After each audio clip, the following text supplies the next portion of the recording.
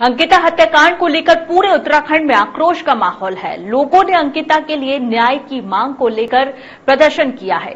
वहीं हत्याकांड को लेकर केंद्रीय रक्षा राज्य मंत्री अजय भट्ट ने पीड़ित परिवार के प्रति गहरी संवेदनाएँ ज़ाहिर की हैं। उन्होंने कहा कि दोषियों को बख्शा नहीं जाएगा। साथ ही उन्होंने कहा कि मुख्यमंत्री ने मामले में एसआईटी भी गठित कर दी है। जाँच के बाद सरकार दोषियों के खिलाफ कार्रवाई करेगी। बता दें कि अंकिता भंडारी एक रिसोर्ट में रिसेप्शनिस्ट की नौकरी करती थी, जहाँ उसके साथ जघन्य अपराध को अंजाम दिया गया।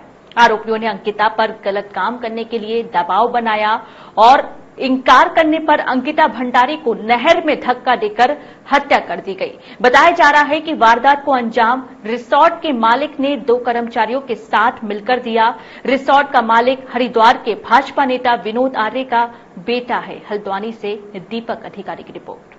में जो उत्तराखंड में एक दर्दनाक घटना हुई है, हमारी बेटी अंकिता, हमारी बहन अंकिता के बारे में, हमारी सरकार ने उसमें बहुत ही ज़बरदस्त काम किया है, एक्शन लिया है, तुरंत और एसआईटी का गठन कर दिया है। कितने लोग उसमें कहीं भी होंगे, वो बक्से नहीं जाएँगे, उनको छोड़ा नहीं जाएगा। जो जघन्य अपराध करने वाले अपराधी हैं, उनकी पूरी चेन आपके सामने जेलों के अंदर सीकचों में बंद होगी, ये मैं आपको आश्वस्त करता हूँ।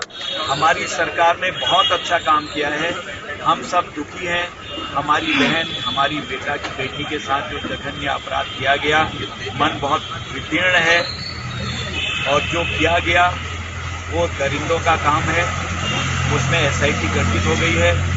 कोई भी उस चेन में जितने भी लोग होंगे, कोई भी बख्शा नहीं जाएगा। मैं आपको यह आश्वस्त करता हूँ।